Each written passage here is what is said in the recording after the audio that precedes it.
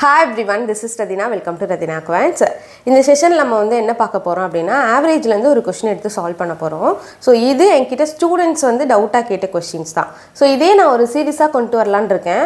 ஏன்னா நீங்கள் A to Z series மூலமாக பேசிக்ஸ் எல்லாம் லேர்ன் பண்ணிடுவீங்க நிறைய டைப்ஸ் லேர்ன் பண்ணிடுவீங்க பட் லைட்டாக எக்ஸாம்லேயோ இல்லை மார்க் டெஸ்ட்லேயோ ட்விஸ்ட் பண்ணி கொடுத்தா கொஞ்சம் அதில் டவுட்ஸ் வருது உங்களால் சால்வ் பண்ண முடியல. ஸோ அந்த மாதிரி கொஷின்ஸை என்கிட்ட கேட்குற சில கொஷின்ஸை செலக்டிவான கொஷின்ஸை நான் இந்த சீரீஸில் கொண்டு வரேன் இந்த டவுட் சீரீஸில் ஸோ இந்த கொஷின் வந்து என்னென்னா ஒரு டிஃப்ரெண்ட்டான மெத்தடில் சால்வ் பண்ணலாம். இந்த மாதிரி ஸ்பெஷலான கொஷின்ஸை நான் கொண்டு வரேன். சரியா? கொஷின் டிஸ்ப்ளே ஆகும் பாருங்கள் the average age of classes thirty five years six new students with an average of thirty three years joined in that class thereby decreasing the average by half year. The original strength of the class was கொஷினை first நல்லா understand பண்ணிக்கோங்க சரியா? இந்த question நீங்கள் புரியணும். இப்போ நான் நடத்துகிறது உங்களுக்கு புரியணும்னா ஃபஸ்ட்டு நீங்கள் ஆவரேஜோட ஏ டு Z சீரிஸ் போட்டிருப்பேன். அதாவது ரதினா குவான்ஸ் ஆப்பை டவுன்லோட் பண்ணிக்கோங்க. அங்கே ஒரு பெய்டு கோர்ஸ் இருக்குது அந்த கோர்ஸில் இருக்க ஆவரேஜ் பேசிக்ஸ் ஃபுல்லாக லேர்ன் பண்ணியிருக்கணும் அந்த கோர்ஸில் உங்களுக்கு குவான்டிடேட்டிவ் ஆப்டிடியூட எல்லாமே பேசிக் டு மாட்ரேட் லெவலில் இருக்கும். தாராளமாக நீங்கள் அந்த கோர்ஸை பிகினராக இருந்தீங்கன்னா யூஸ் பண்ணிக்கலாம். ரொம்ப ஹெல்ப்ஃபுல்லாக இருக்கும். சரியா? அதை நீங்கள் பார்த்துட்டிங்கன்னா குவான்ஸில் நீங்கள் நல்லா ஸ்ட்ராங் ஆகிடலாம் ஸோ ஃபஸ்ட்டு அதை ஃபுல்லாக பார்த்துட்டு வாங்க. அப்போ தான் இப்போது இந்த கொஷினில் இந்த வீடியோவில் நான் சொல்கிறதும் உங்களுக்கு புரியும். இப்போது கொஷின் என்ன கொடுத்துருக்காங்கன்னு தெரியுதா? ஒரு கிளாஸில் எவ்வளோ மெம்பர்ஸ் இருக்காங்க? அது எவ்வளோ நமக்கு தெரியாது. ஆனால் அவங்க எல்லாரோட ஆவரேஜ் பார்த்தீங்கன்னா தேர்ட்டி ஃபைவ் இயர்ஸ்ன்னு சொல்கிறாங்க எவ்வளோ மெம்பர்ஸ் வேணால் இருக்கலாம்.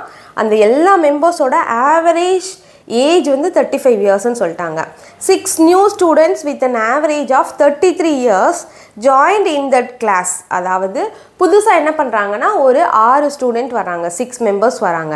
ஆனால் அந்த சிக்ஸ் மெம்பர்ஸ் அந்த சிக்ஸ் மெம்பர்ஸோட ஆவரேஜ் கொடுத்துருக்காங்க தேர்ட்டி த்ரீ இயர்ஸ்னு இப்போது ப்ரீவியஸ் எவ்வளோ இருக்குது தேர்ட்டி ஃபைவ் இருக்குது இப்போ ஒரு ஆறு பேர் தேர்ட்டி த்ரீ அப்படின்ற ஆவரேஜோடு உள்ளே வர்றப்போ கட்டாயமாக என்னாகும்? ஆவரேஜ் ஏஜ் அந்த டோட்டல் இப்போது நியூ ஸ்ட்ரென்த் இருக்கும்ல முன்னாடி எவ்வளோ இருப்பாங்க? அதை விட இப்போ ஆறு பேர் கூட போகிறாங்க இந்த ரெண்டு பேரும் சேர்த்து ஒரு நியூ ஸ்ட்ரென்த் ஒரு உள்ள கிளாஸில் இருக்க டோட்டல் மெம்பர்ஸு அவங்களோட ஆவரேஜ் டெஃபினட்டாக கம்மியாகும். ஏன் அப்படின்னா டோட்டல் ஆவரேஜை விட இப்போ வர்ற அந்த ஆறு பேரோட ஆவரேஜ் வந்து கம்மியாக இருக்குது அப்போ இந்த தேர்ட்டி த்ரீ இயர்ஸ் ஆவரேஜ் இருக்க இந்த ஆறு பேர் இந்த டீமுக்குள்ளே போகும்போது கண்டிப்பாக ஆவரேஜ் டிக்ரீஸ் ஆகும். எவ்வளோ டிக்ரீஸ் ஆகுதுன்னா பாயிண்ட் ஃபைவ் இயர்ஸ் அதாவது ஹாஃப் இயர்ஸ் சொல்கிறாங்க சரியா? அரை வருடம் வந்து அவங்களுக்கு டிக்ரீஸ் ஆகுது. புரியுதா? முன்னாடி தேர்ட்டி ஃபைவ்னு இருந்தது. இந்த ஆறு பேர் வந்ததுக்கப்புறம் எப்படி மாறிடும்? ஹாஃப் இயர் மைனஸ் பண்ணிட்டோன்னா தேர்ட்டி ஃபோர் பாயிண்ட் ஃபைவ் இயர்ஸ்ன்னு மாறிடும். இப்போ இருக்க அந்த நியூ ஸ்ட்ரென்த்தோட ஆவரேஜ் ஓகே இப்போ என்ன கேட்குறாங்க அந்த கிளாஸோட ஸ்ட்ரென்த்து கேட்குறாங்க இது கொஞ்சம் ஈஸி லெவல் கொஸ்டினாக தான் தெரியும். இதையே நான் இந்த செஷனில் கொண்டு வந்திருக்கேன்னா இப்போது ஜென்ரலாகவே ஆவரேஜ் அப்படின்ற டாப்பிக்கை நம்ம வந்து பேசிக்காக ஃபார்முலா மெத்தட் அதாவது ஃபார்முலானா average equal to sum divided by number இந்த ஃபார்முலா இருக்குல்ல தெரியுதா? தெரியும்னு நினைக்கிறேன். Okay average equal to sum divided by number இந்த ஃபார்முலா வச்சு ஆவரேஜ் கொஷின்ஸை சால்வ் பண்ண முடியும். இல்லைனா நான் இன்னொரு மெத்தட் என்ன சொல்லியிருப்பேன் அப்படி சொல்லியிருப்பேன்னா deviation method or else distribution மெத்தடுன்னு சொல்லியிருப்பேன் சரியா? இந்த மெத்தட் ஸ்டார்டிங்லேயே நான் உங்களுக்கு ஆவரேஜோட எயிட் டூ Z சீரிஸ் போய் பார்த்தீங்கன்னா தெரியும். டீவியேஷன் ஆர் டிஸ்ட்ரிபியூஷன் மெத்தடுன்னு சொல்லுவோம். இது மூணாவது தான் வந்து பாக்ஸ் மெத்தட் இந்த பாக்ஸ் மெத்தட் யூஸ்வலாக எதுக்கு நம்ம யூஸ் பண்ணுவோம் அப்படின்னா இந்த மாதிரி தான் புதுசாக ஒரு டீம் வந்து ஜாயின் பண்ணுறாங்க இல்லை ஒரு குரூப்போட ஆவரேஜ் இவ்வளோ இருக்குது புதுசாக ஒரு பர்சன் வந்து உள்ளே ஜாயின் பண்ணுறாங்க அதனால ஆவரேஜ் இன்க்ரீஸ் ஆகுது டிக்ரீஸ் ஆகுது அப்படி இதுக்கெல்லாம் பாக்ஸ் மெத்தட் யூஸ் பண்ணுவோம். இது எல்லாமே நான் வந்து வீடியோ கோர்ஸில் சொல்லியிருக்கேன். ஸோ வீடியோ கோர்ஸ் போய் பாருங்கள் இப்போ இந்த கொஷினுக்கு எடுத்துக்கிட்டிங்கன்னா பாக்ஸ் மெத்தட் செட் ஆகாது. பாக்ஸ் மெத்தடில் வந்து நமக்கு இனிஷியல் கவுண்ட்டு கொடுக்கல. அப்படி இனிஷியல் கவுண்ட்டு கொடுக்காதனால என்ன பிரச்சனையாகும்? இன்னொன்று சிக்ஸ் நியூ மெம்பர்ஸ் வராங்க. ஒருத்தர் மட்டும் ஜாயின் பண்ணுறாங்கன்னா பாக்ஸ் மெத்தட் போங்க. இல்லைனா பாக்ஸ் மெத்தட் யூஸ் பண்ணாதீங்க. ஏன்னா இந்த கொஷினை பாக்ஸ் மெத்தடில் ட்ரை பண்ணும்போது உங்களுக்கு ஒரு சில கன்ஃபியூஷன்ஸ் வரும். சைன் வந்து சேஞ்ச் ஆகிற மாதிரி. அதாவது நம்ம ரெண்டு சைடும் இன்க்ரீஸிங் ரெண்டு சைடும் டிக்ரீஸிங்னா நம்ம ஆட் பண்ணுவோம். ஒன்று இன்க்ரிமெண்ட் ஒன்று டிக்ரிமெண்ட்னா டிஃப்ரென்ஸ் எடுப்போம். அந்த டிஃப்ரென்ஸ் எடுக்கும்போது இந்த இடத்துல இனிஷியல் வேல்யூ இல்லாதனால அந்த எக்ஸை வச்சு நம்மளால் டிஃப்ரென்ஸ் எடுக்க முடியாது. ஓகே அதனால் இந்த கொஷினுக்கு பாக்ஸ் மெத்தடில் ட்ரை பண்ணாதீங்க. நம்ம நிறைய கொஷின்ஸ் ப்ராக்டிஸ் பண்ண பண்ண எந்த மெத்தட் பண்ணணும் எந்த மெத்தட் பண்ணக்கூடாதுன்னு தெரிஞ்சிடும் இப்போ இந்த கொஷினை ஃபார்முலா மெத்தட்லேயே போடலாம் இந்த டீவியேஷன் ஆர் டிஸ்ட்ரிபியூஷன் மெத்தட்லேயும் போடலாம். இப்போ நீங்கள் ஃபஸ்ட்டு என்ன பண்ணணும்னா வீடியோவை ஃபுல்லாக பார்க்கணும். ஏன் அப்படின்னா இந்த ஃபார்முலா மெத்தடில் நான் போட்டு காட்டுறேன். கான்செப்டை ஈஸியாக வந்துடும் ஆனால் நமக்கு என்னென்னா கேல்குலேட்டிவாக இருக்கும். சரியா? நிறையா எக்ஸ் இதெல்லாம் மல்டிப்ளை பண்ணி எக்ஸோட வேல்யூ கண்டுபிடிக்கிற மாதிரி இருக்கும். ஆனால் இந்த கொஷினுக்கு சூப்பரான மெத்தட் என்னென்னா இந்த டிஸ்ட்ரிபியூஷன் மெத்தட் தான். இந்த டிஸ்ட்ரிபியூஷன் மெத்தட் மூலமாக ஒரே ஒரு ஸ்டெப்பில் ஆன்சர் கொண்டு வந்துட முடியும். Ten to fifteen seconds twenty செகண்ட்ஸ்க்குள்ளே உங்களால் ஆன்சர் பண்ணிட முடியும். அதனால் தயவு செய்து வீடியோவை ஃபுல்லாக பாருங்கள் இந்த வீடியோ ஃபுல்லாக பார்க்குறதுக்கு முன்னாடி நீங்கள் ஆவரேஜோட நம்ம வீடியோ கோர்ஸில் ஆவரேஜோட பேசிக்ஸ் வீடியோஸ் எல்லாமே பார்த்துருக்கணும். இப்போது ஜென்ரலாகவே நமக்கு தெரியல பேசிக் மெத்தடில் நான் மெத்தட் ஒன்று பேசிக் மெத்தட் ஃபார்முலா மெத்தடில் நான் சால்வ் பண்ண போகிறேன் எப்படி பண்ணுறேன்னு பாருங்கள் எழுதுறது தெரியுது. ஓகே ஃபஸ்ட்டு வந்து நமக்கே தெரியும். அதாவது average number of students okay average இல்லை நம்பர் ஆஃப் ஸ்டூடெண்ட்ஸே ஃபஸ்ட் எடுத்துக்குவோம். மொத்தம் எவ்வளோ நம்பர் இருக்காங்க? ஆவரேஜ் இது ரெண்டை பெருக்குனா மல்டிப்ளை பண்ணால் நமக்கு சம் கிடைக்கும் கரெக்டாக இப்போது இனிஷியலாக அந்த கிளாஸில் எவ்வளோ ஸ்டூடெண்ட்ஸ் இருக்காங்கன்னு எனக்கு தெரியாது. அப்போ நான் என்ன பண்ணிக்கிறேன் அப்படின்னா இனிஷியலாக எக்ஸ் மெம்பர்ஸ் இருக்காங்கன்னு நான் எடுத்துக்கிறேன் ஓகே அவங்களோட ஆவரேஜ் எவ்வளோ கொடுத்துருக்காங்க? தேர்ட்டி ஃபைவ்னு கொடுத்துருக்காங்க கரெக்டாக அப்போது சம் என்னவாக இருக்கும்? சம் அப்படின்றது. நம்ம ஆல்ரெடி பார்த்தோம்ல average equal to sum by number அப்போ sum is equal to what average into number of ஸ்டூடெண்ட்ஸுன்னு தான் இருக்கும். அப்போ இது ரெண்டாக மல்டிப்ளை பண்ணணும். மல்டிப்ளை பண்ணால் என்ன கிடைக்கும்? Thirty five into X thirty five எக்ஸ்ன்னு கிடைக்கும். அடுத்து பாருங்கள் புதுசாக என்ன பண்ணுறாங்க சிக்ஸ் ஸ்டூடெண்ட்ஸ் வராங்க. இந்த சிக்ஸ் ஸ்டூடெண்ட்ஸோட ஆவரேஜ் என்னன்னு கொடுத்துருக்காங்க? தேர்ட்டி த்ரீ இயர்ஸ்ன்னு கொடுத்துருக்காங்க. அப்போ இவங்க ரெண்டு பேரோட இந்த எக்ஸ் மெம்பர்ஸோட சம் வந்து தேர்ட்டி ஃபைவ் எக்ஸ்ன்னு இருக்கும். இந்த six members thirty three age ஆவரேஜோட வர்றாங்க அப்படின்னா இவங்களோட சம் என்ன இருக்கும்? தேர்ட்டி த்ரீ இன்ட்டு சிக்ஸ்ன்னு இருக்குமா? மல்டிப்ளை பண்ண வேண்டாம் அப்படியே இருக்கட்டும். ஓகே இப்போ நான் என்ன பண்ணுறேன்னா ஓவராலாக இப்போது அந்த கிளாஸில் மொத்தமாக எவ்வளோ ஸ்டூடெண்ட் இருப்பாங்க? இனிஷியலாக எவ்வளோ ஸ்டூடெண்ட் இருப்பாங்கன்னு தெரியாது. அது எக்ஸி இப்போ ஒரு சிக்ஸ் ஸ்டூடெண்ட்ஸ் வந்திருக்காங்களா? அப்போது அட் ப்ரெசென்ட் அதாவது இப்போ பார்த்தீங்கன்னா அந்த கிளாஸில் எக்ஸ் ப்ளஸ் சிக்ஸ் ஸ்டூடெண்ட்ஸ் இருப்பாங்க. சரியா? அவங்களோட ஆவரேஜ் என்ன இருக்குது ஆவரேஜ் கொடுத்துருக்காங்களா? என்ன சொல்லியிருக்காங்க இப்படி சிக்ஸ் ஸ்டூடெண்ட்ஸ் புதுசாக வந்தனால பாயிண்ட் ஃபைவ் இயர்ஸ் ஆவரேஜ் குறையுதுன்றாங்க. அதாவது இப்போ இது ரெண்டும் ஆட் பண்ணி போட்டுறக்கூடாது. இது ரெண்டும் ஆட் பண்ணனால.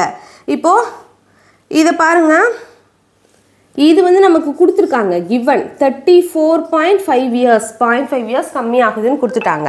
ஓகே அப்போது இவங்களோட சம் என்ன இருக்கும்? இப்போ இந்த ரெண்டு பேரோட சம் வந்து நம்ம அஸ் யூஷுவல் இந்த ஃபார்முலா படி இது ரெண்டும் மல்டிப்ளை பண்ணி ஒரு வேல்யூ கொண்டு வரலாம். சம்மு கரெக்டாக அதே போல் இந்த இது ரெண்டும் மல்டிப்ளை பண்ணி ஒரு சம் வரும்ல? இதுவும் சம் தானே?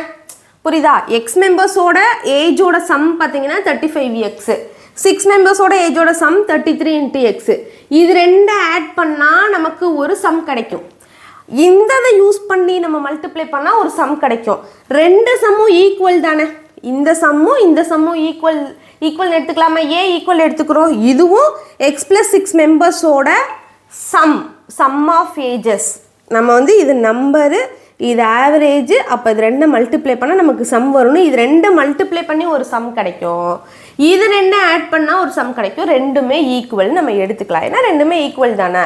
இதுவும் வந்து டோட்டல் கிளாஸில் இருக்க ஸ்டூடெண்ட்ஸோட ஸ்ட்ரென்த்து இதுவும் டோட்டல் கிளாஸில் இருக்க ஸ்டூடெண்ட்டோட ஸ்ட்ரென்த்து அப்போ இது ரெண்டையும் நம்ம ஆட் பண்ணி இதை ஈக்குவேட் பண்ணி இதுலேருந்து எக்ஸோட வேல்யூ நம்மளால் கண்டுபிடிக்க முடியும். சரியா? ஸோ பண்ணலாமா? ஸோ பாருங்கள் இங்கே நான் என்ன பண்ணுறேன் எக்ஸ் ப்ளஸ் சிக்ஸ் இன்ட்டு இங்கே நான் மல்டிப்ளை பண்ணிட்டேன். மேலே இருக்கல இந்த மல்டிப்ளிகேஷன் ஒரு ஸ்டெப் இதுக்கு வேஸ்ட் பண்ணேன் ஓகே இந்த சம் இது ரெண்டும் மல்டிப்ளை பண்ணால் இது எதுக்கு equal equal to thirty five X plus thirty three into six நான் அந்த தேர்ட்டி த்ரீ இன்ட்டு சிக்ஸ்னே வச்சுருக்கேன் ஏன்னு சொல்கிறேன் ஓகே நெக்ஸ்ட்டு பாருங்கள் இது ரெண்டை மல்டிப்ளை பண்ணுவோமா? ஸோ இங்கே தேர்ட்டி ஃபோர் பாயிண்ட் ஃபைவ் எக்ஸ்ன்னு வரும் plus thirty four point five into சிக்ஸ்ன்னு கிடைக்குமா? Okay which is equal to what same thirty five X plus thirty three into six இப்போ நமக்கு எக்ஸோட வேல்யூ வேணும் கரெக்டாக இங்கே இருக்க தேர்ட்டி ஃபைவ் எக்ஸ் அப்படியே இருக்கட்டும். இங்கே இருக்க thirty four point five X மைனஸ்னு மாறும். Minus thirty four point five X இங்கே already thirty four point six thirty four point five into six இருக்குது இது கூட நம்ம இதை வந்து மைனஸ் பண்ணணும். இங்கே பாருங்கள் இங்கே என்ன இருக்குது தேர்ட்டி ஃபோர் ஒரு நிமிஷம் வெயிட் ஆகிக்கிட்டு touch thirty four point five into six இருக்குது அதுலேருந்து நம்ம என்ன பண்ணணும்? தேர்ட்டி த்ரீ இன்ட்டு சிக்ஸை மைனஸ் பண்ணணும். நான் ஏன் இப்போ சிக்ஸ்னு வச்சேன்றது புரியுதா? ஏ வச்சேன்னா இப்போ நம்ம சிக்ஸை காமனாக எடுத்து மைனஸ் பண்ணிக்கலாம். இப்போ இது ரெண்டுக்கும் சிக்ஸை காமனாக எடுத்துட்டோன்னா இங்கே தேர்ட்டி ஃபோர் பாயிண்ட் ஃபைவ் இருக்கும். இங்கே தேர்ட்டி த்ரீ இருக்கும். ஸோ சிக்ஸ் இன்ட்டு இங்கே வந்து நமக்கு ஒன் பாயிண்ட் ஃபைவ் கிடைக்குமா? இங்கே என்ன கிடச்சிருக்கும்? பாயிண்ட் ஃபைவ் எக்ஸ்ன்னு கிடச்சிருக்குமா? So six into one point five equal to point five X இதுலேருந்து இப்போ நம்ம எக்ஸோட வேல்யூ கால்குலேட் பண்ணணும். எக்ஸோட வேல்யூ ஈஸியாக கால்குலேட் பண்ணிடலாம்ல? பாயிண்ட் ஃபைவ்ன்றதை நம்ம ஒன் டைம் அடித்தோன்னா ஒன் பாயிண்ட் ஃபைவை நம்ம என்ன பண்ணலாம்? த்ரீ டைம் அடிக்கலாமா? இதெல்லாம் பேசிக்மாக ஒரு தடவை பாயிண்ட் ஃபைவ் இன்னொரு பாயிண்ட் ஃபைவ் ஆட் பண்ணால் ஒன்று இன்னொரு பாயிண்ட் ஃபைவ் ஆட் பண்ணால் ஒன் பாயிண்ட் ஃபைவ் அப்போ இந்த ஒன் பாயிண்ட் ஃபைவ்ல த்ரீ பாயிண்ட் ஃபைவ்ஸ் இருக்குது அதனால் நான் ஒன்று த்ரீன்னு டேரெக்டாக அடிக்கிறேன். அப்போ இங்கே எக்ஸ் இருக்கும் இங்கே சிக்ஸ் இன்ட்டு த்ரீ எயிட்டின்னு இருக்கும். அப்போ எக்ஸோட வேல்யூ எயிட்டீன் இப்போ நம்மக்கிட்ட கேட்குறது இனிஷியலாக எவ்வளோ ஸ்டூடெண்ட்ஸ் இருந்தாங்கன்னு தான் கேட்குறாங்க இனிஷியலாக எவ்வளோ ஸ்டூடெண்ட்ஸ் எக்ஸ்ன்னு தான் வச்சுருக்கோம். அப்போ அந்த எக்ஸோட வேல்யூ எயிட்டின்னு இப்போ பேசிக் மெத்தடில் போடுறதுக்கு எவ்வளோ நேரம் ஆயிருக்கு பார்த்தீங்களா இதை ரொம்ப சிம்பிளாக நம்மளால் என்ன பண்ணிடலாம் டிஸ்ட்ரிபியூஷன் ஆர் டிவியேஷன் மெத்தடில் போட்டுக்கலாம். இனிமேல் தான் ஆக்சுவலாக நீங்கள் தெரிஞ்சுக்க வேண்டியதே இருக்குது டுவெல் மினிட்ஸ் ஆயிடுச்சா? சரி ஓகே இதை நோட் பண்ணிக்கோங்க. ஓகே இப்போ நம்ம method two distribution method or deviation மெத்தட்னு பார்க்க போகிறோம் இதுதான் ரொம்ப முக்கியம். ஏன்னா இந்த கான்செப்டை நீங்கள் போயிட்டு அடுத்தடுத்த கொஷின்ஸில் அப்ளை பண்ணுறதுக்காக இதை நல்லா கவனிச்சுக்கோங்க. இப்போது ஆவரேஜ்னால என்ன? நான் இனிஷியலாகவே ஆவரேஜோட ஏ டு ஜெட் சீரீஸ்லேயே சொல்லியிருப்பேன். ஆவரேஜ் அப்படின்றது ஈக்குவலாக எல்லாருக்கும் பிரித்து கொடுக்குறது. சரியா? இப்போ ஒருத்தவங்ககிட்ட ஒரு டென் சாக்லேட்ஸ் இருக்குது ஒருத்தவங்ககிட்ட சிக்ஸ் சாக்லேட்ஸ் இருக்குது அப்படின்னா இப்போ என்ன பண்ணலாம்? அந்த டென் சாக்லேட்ஸ்கிட்ட இவங்க ரெண்டு பேர்த்திட்ட எக்ஸ்ட்ரா எவ்வளோ இருக்குது ஃபோர் சாக்லேட்ஸ் இருக்குது இந்த இவர்கிட்ட அந்த ஃபோர் சாக்லேட்டை வாங்கி அதை ரெண்டு பேருக்கும் ரெண்டாக பிரித்து கொடுத்தோன்னா இங்கிட்டு ரெண்டு போகும் இங்கிட்டு ரெண்டு போகும். சரியா? அப்போது எயிட் எயிட்டுன்னு ஆயிரும். ஈக்குவலாக பிரித்து கொடுக்குறதா ஆவரேஜ் அந்த கான்செப்டை தான் நம்ம இங்கே யூஸ் பண்ண போகிறோம் இனிஷியலாக எனக்கு எவ்வளோ ஸ்டூடெண்ட்ஸ் இருந்தாங்கன்னு தெரியாது. ஆனால் அந்த ஸ்டூடெண்ட்ஸோட ஆவரேஜ் வந்து எனக்கு தேர்ட்டி ஃபைவ்னு தெரியுமா? கரெக்டாக இனிஷியலாக எவ்வளோ ஸ்டூடெண்ட்ஸ் இருக்காங்க? எக்ஸ் நம்பர் ஆஃப் ஸ்டூடெண்ட்ஸ்னு வச்சுக்கிறேன். அவங்களோட ஆவரேஜ் பார்த்தீங்கன்னா தேர்ட்டி ஃபைவ் ஓகே இந்த மாதிரி ஒவ்வொரு ஸ்டூடெண்ட்ஸுக்கும் ஆவரேஜை தேர்ட்டி ஃபைவ்னு பிரிச்சுட்டாங்க. இதுதான் கான்செப்ட் ஓகே இது எவ்வளோ? எக்ஸ் நம்பர் ஆஃப் ஸ்டூடெண்ட்ஸுக்கு எக்ஸ் நம்பர் ஆஃப் ஸ்டூடெண்ட்ஸோட ஆவரேஜ் தேர்ட்டி ஃபைவ் சொல்லிட்டாங்க. Thirty five thirty five thirty five X மெம்பர்ஸ்க்கு போகும். இப்போ என்ன பண்ணுறாங்க சிக்ஸ் நியூ மெம்பர்ஸ் வராங்க. ஆறு மெம்பரோட ஆவரேஜ் என்ன சொல்கிறாங்க thirty three thirty three thirty three okay ஆறு பேர் ஆறு பேரோட ஏஜ் தேர்ட்டி த்ரீன்னு வச்சுக்கிறோம். நம்ம ஆவரேஜ்னு சொன்னனால இப்போ ஆறு பேருக்குமே ஏஜ் தேர்ட்டி த்ரீன்னு வச்சுக்க போகிறோம் அதுதான் மீனிங் ஆவரேஜ்னா ஓகே ஒவ்வொரு ஒருத்தருக்கு தேர்ட்டி ஃபோர் இன்னொருக்கு தேர்ட்டி ஃபைவ் கூட இருந்திருக்கலாம். அதை நமக்கு ஆவரேஜாக கொடுத்துட்டாங்க. அப்போது X members thirty five thirty five thirty ஃபைவ்னு ஆவரேஜில் இருந்திருக்காங்க. இங்கே six members thirty three thirty த்ரீன்ற ஆவரேஜில் வராங்க. இப்படி வர்றனால என்ன நடக்குது? இப்போ எல்லாரோட ஆவரேஜும் எப்படி மாறிடுச்சு? பாயிண்ட் ஃபைவ் இயர்ஸ் அதாவது ஹாஃப் இயர் கம்மி ஆயிடுச்சுன்னு சொல்லிட்டாங்களா?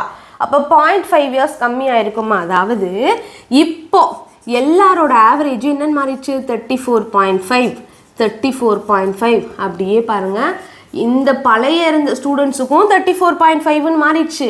இப்போ புதுசாக தேர்ட்டி த்ரீல வந்தாங்கல்ல அவங்களுக்கும் என்னன்னு மாறிடுச்சு? தேர்ட்டி ஃபோர் பாயிண்ட் ஃபைவ்னு மாறிடுச்சு. தேர்ட்டி ஃபோர் பாயிண்ட் ஃபைவ் அப்படியே மாறிடுச்சு. சரியா? ஆறு பேருக்கும் தேர்ட்டி ஃபோர் பாயிண்ட் ஃபைவ்னு மாறிடுச்சு. இப்போ இதுதான் நமக்கு முக்கியமான கான்செப்ட் இது தெரிஞ்சுட்டா சிம்பிளாக முடிச்சிடலாம். இப்போ நல்லா கவனிச்சுக்கோங்க. இங்கே எல்லாருக்கும் முப்பத்தஞ்சுன்னு இருக்குது தேர்ட்டி ஃபைவ்னு இருக்குது இங்கே எல்லாருக்கும் தேர்ட்டி த்ரீன்னு இருக்குது இப்போ இது எல்லாத்தையும் நம்ம தேர்ட்டி ஃபோர் பாயிண்ட் ஃபைவ்னு மாற்றிட்டோம் என்ன பண்ணியிருக்கோம்? இங்கேருந்து எக்ஸ் மெம்பர்ஸ் கிட்டேருந்து பாயிண்ட் ஃபைவ் இவங்களுக்குலாம் எவ்வளோ டீவியேஷன்ஸ் வந்திருக்கு பாருங்கள் ஒவ்வொருத்தருக்கும் பாயிண்ட் ஃபைவ் இந்த எக்ஸ் மெம்பர்ஸுக்கும் பாயிண்ட் ஃபைவ் குறைஞ்சிருக்கு டிக்ரீஸ் ஆயிருக்கு. இங்கே பாருங்கள் இந்த ஆறு பேருக்குமே ஒன் பாயிண்ட் ஃபைவ் இன்க்ரீஸ் ஆயிருக்கு. சரியா? இன்க்ரிமெண்ட்டு ஒவ்வொருத்தருக்கும் ஒன் பாயிண்ட் ஃபைவ் இன்க்ரீஸ் ஆயிருக்கு. அப்போது என்ன புரியுது இதுலேருந்து உங்களுக்கு?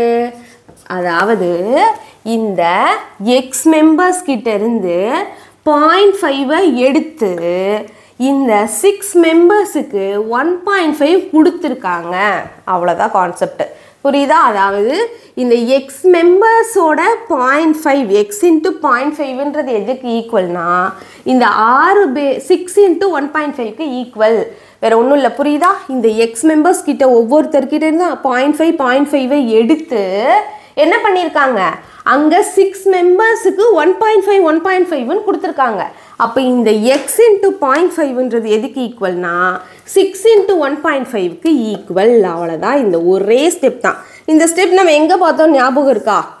அந்த பேசிக்கில் லாஸ்ட் ஸ்டெப்பாக பார்த்தோம்ல. அது எவ்வளோ சால்வ் பண்ணி நம்ம லாஸ்ட் ஸ்டெப்பாக கொண்டு வந்தோம். எவ்வளோ மல்டிப்ளிகேஷன் இருந்துச்சு. அதை நான் இத்தனைக்கு சிக்ஸை காமனாக வச்சு பண்ணனால ஈஸியாக முடிஞ்சிருச்சு. அவ்வளோதான் இந்த ஒரு ஸ்டெப் தான் இந்த டீவியேஷன் மெத்தடில் நல்லா கவனிச்சுக்கோங்க. தேர்ட்டி ஃபைவ் மெம்பர்ஸ் இருக்காங்க. சாரி எக்ஸ் மெம்பர்ஸ் இருக்காங்க. எக்ஸ் மெம்பர்ஸ் கிட்டேருந்து பாயிண்ட் ஃபைவை வாங்கி என்ன பண்ணியிருக்காங்க இந்த சிக்ஸ் மெம்பர்ஸ்க்கு ஒன் பாயிண்ட் ஃபைவாக பிரித்து கொடுத்துருக்காங்க. அப்போ x into one point five அப்படின்றது சிக்ஸ் இன்ட்டு ஒன் பாயிண்ட் ஃபைவாக இருக்கும். இதுதான் இந்த டிஸ்ட்ரிபியூஷன் மெத்தடு இப்போ சிம்பிளிஃபை பண்ணுங்க. அஸ்யூஷுவல் நம்ம சால்வ் பண்ணோம்ல point five one time one point ஃபைவ்ல த்ரீ பாயிண்ட் ஃபைவ்ஸ் இருக்கும். டேரெக்டாக பாயிண்ட் ஃபைவே ஒன் பாயிண்ட் ஃபைவே நான் கேன்சல் பண்ணுறேன் அப்போ x is equal to what six into three eighteen is the right answer ரொம்ப சிம்பிளாக முடிஞ்சிருச்சா? அங்கே எவ்வளோ பெருசாக போச்சு? சரியா? இது புரிஞ்சிருக்கும்னு நினைக்கிறேன். நோட் பண்ணிக்கோங்க. நோட் பண்ணிட்டீங்களா? ஸோ நோட் பண்ணிட்டீங்கன்னா இப்போ உங்களுக்கு ஒரு கொஷின் டிஸ்ப்ளே ஆகும். சரியா? அது உங்களுக்கான ஒர்க் அவுட் சம் அந்த சம்க்கான ஆன்சரை கமெண்ட் செக்ஷனில் போஸ்ட் பண்ணுங்கள் அண்ட் ஆல்சோ இந்த சம் உங்களுக்கு புரிஞ்சிருச்சுன்னா எனக்கு கமெண்ட்டில் ஒரு தம்பப் ஏதோ ஒன்றை மட்டும் எனக்கு கமெண்ட் செக்ஷனில் போஸ்ட் பண்ணிடுங்க ஸோ தட் இதை நிறைய பேர் ஃபாலோ பண்ணுறீங்க புரிஞ்சிருச்சுன்றது எனக்கு தெரியும். அண்ட் இதை கண்டினியூ பண்ணலாமா? இந்த மாதிரி உங்கள் டவுட்ஸை வந்து நான் ஒரு ஒரு ஒரு ஒரு சம்ம ஒரு மாடல் சம்மை நான் நடத்திட்டு ஒரு மாடல் செம்மை உங்களுக்கு ஒரு கோட் சம்மாக கொண்டு போகலான்றதையும் எனக்கு கமெண்ட் செக்ஷனில் சொல்லுங்கள் வேறு ஏதாவது டவுட் இருந்தாலும் நான் டிஸ்கிரிப்ஷனில் டீட்டெயில்ஸ் காண்டாக்ட் டீட்டெயில்ஸ்லாம் வச்சுருக்கேன். அதை யூஸ் பண்ணிக்கோங்க. டிஎன்பிஎஸ்சி ஆஸ்பிரண்ட்ஸ்க்கு தனியாக ரதினா டிஎன்பிஎஸ்சி யூடியூப் சேனல் இருக்குது அதை ஃபாலோ பண்ணிக்கோங்க. அண்ட் ரதினாக்கு வேண்ட்ஸ் ஆப்பை டவுன்லோட் பண்ணி அங்கே இருக்க கோர்ஸை யூஸ் பண்ணிக்கோங்க. சரியா? எனக்கு கொஞ்சம் ஃபீவர் um, ஏதாவது ஒரு கேப் வந்துடுது நானும் கண்டினியூஸாக போடணும்னு நினச்சாலும். ஸோ ஹெல்த்தை மட்டும் கொஞ்சம் சரி பண்ணிவிட்டு நான் ரெகுலராக போடுறேன். அது வரைக்கும் உங்களுக்கு இந்த மாதிரி உங்களோட டவுட்ஸ் கொஷின்ஸ் எல்லாமே நான் எடுத்து போஸ்ட் பண்ணுறேன் ஓகே நெக்ஸ்ட் ஒரு வீடியோவில் மீட் பண்ணலாம். Thank you bye